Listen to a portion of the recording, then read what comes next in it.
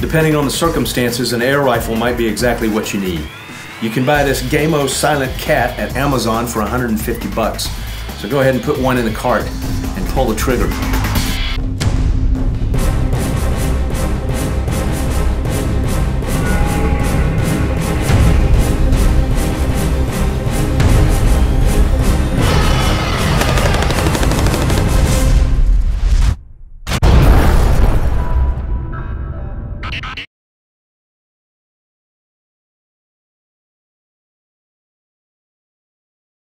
The Gamo Silent Cat is uh, pretty well featured for a gun that only costs 150 bucks.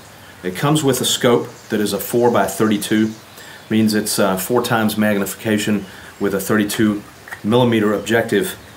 It's not adjustable as far as the magnification, but of course you can set it for windage and elevation.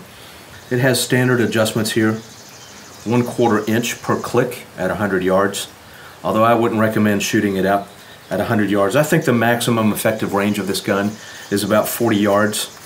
The cameraman is uh, a really good shot. When he was five, I got him a 22 and uh, threw a stick out in the pond and just jokingly told him to shoot it. So he took a shot and hit it. And uh, I thought it was a fluke, so I said, okay, do it again. So he took aim and hit it again.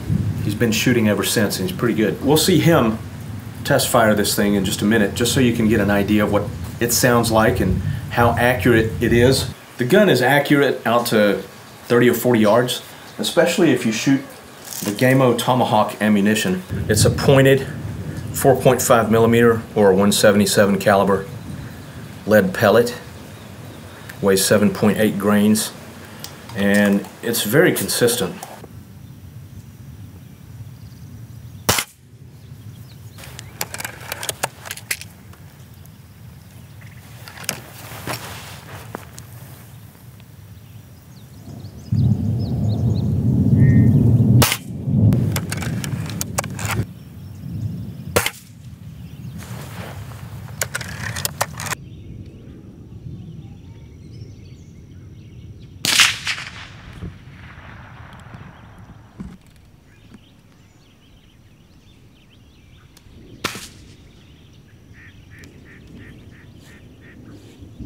One thing I like about the gun is the skeletonized stock.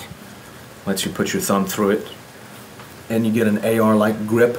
It's very light, so it's easy to aim. You can hold it in awkward positions and still hold it pretty steady because you're not straining to hold it. Even with this long barrel and the weight out at the front, it's really not bad. Okay, this is something for, you know, hitting rabbits and birds in the yard squirrels, that kind of thing. The cameraman shoots uh, rabbits in the head out to 20 and 30 yards consistently, and uh, even birds, shoots them through the head or the neck. One of the benefits of shooting something so quiet is that if you miss the rabbit, the shot is not very loud and it doesn't alarm him, and so you can easily get off a second shot.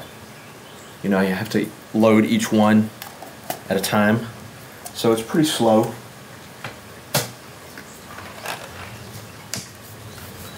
Gives you time to get a second shot. But the sound of the gun when you shoot it is kind of clunky. Ding. It just sounds a little cheap. Okay, but it does the job. The trigger and safety are, I like the design.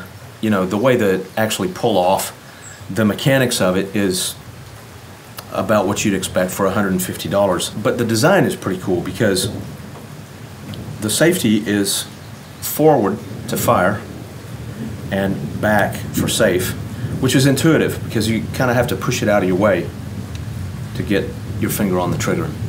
A fluted barrel shaves off some of the weight at the front. The whole plastic stock is good. It's hard stuff. It doesn't sound too, you know, doesn't sound too plasticky. It's like sturdy, heavy, thick enough. It's made in Spain. The scope is made in China. It's got a padded buttstock, but considering there's no recoil, it's kind of irrelevant. It does give you some grip, the rubber gives you some grip on your clothing. It's completely ambidextrous.